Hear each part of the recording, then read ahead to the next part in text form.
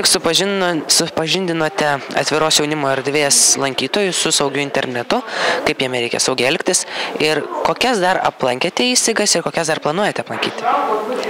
Dalyvavome Rasinių Marcelius Martinaičio viešosios bibliotekos renginyje aplankėm vaikučius, kalbėjom irgi apie saugų internetą. Jie taip pat tenai pasitikrino, ar jų Facebook'o profiliai saugus darė testą. Mes irgi davėme skrajutes su patarimais apie saugų internetą.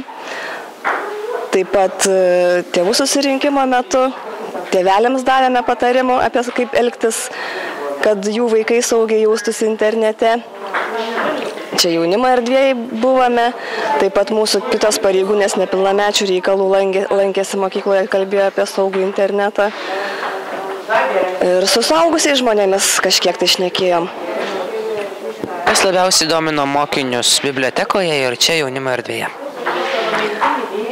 Mokinius domino, kaip, ką nereikėtų daryti, kad, kad jaustųsi saugiai kaip reikėtų elgtis garbingai, e, kaip nereikėtų elgtis. E, su kokiamis temomis dar, dar planuojame aplankyti vaikus? Tema yra įvairių.